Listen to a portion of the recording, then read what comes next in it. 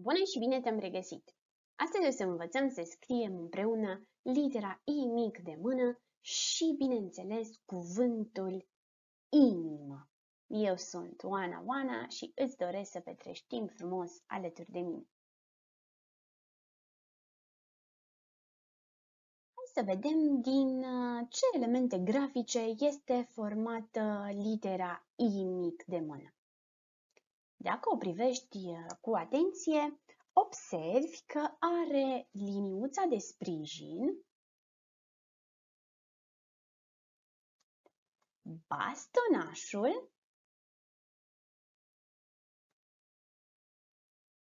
și un punct. Se scrie foarte simplu. De aceea, vreau să privești cu atenție cum unesc aceste Uh, elemente grafice. Pornesc de la jumătatea acestei linii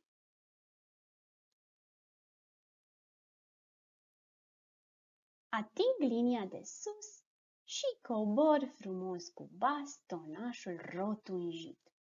Pun punctulețul pentru a termina de scris litera I. Ce este foarte important astăzi la lecția noastră este cum legăm această literă de alte litere.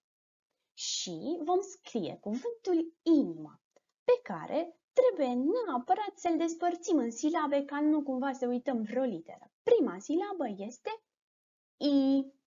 Știu să scriu litera I, așa că pornesc cu litera I. I.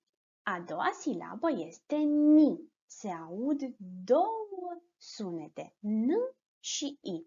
Pornesc exact de unde s-a terminat litera I cu litera N. I,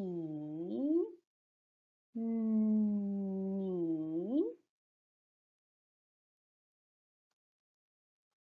și ultima silabă M. La fel ca mai devreme, doar că acum am trei piciorușe. M, inimă. Inimă. Pun punctulețele și căciulița la ă. Este foarte ușor și te rog și pe tine să desenezi o inimă și să scrii cuvântul inimă așa cum l-ai urmărit scris de mine.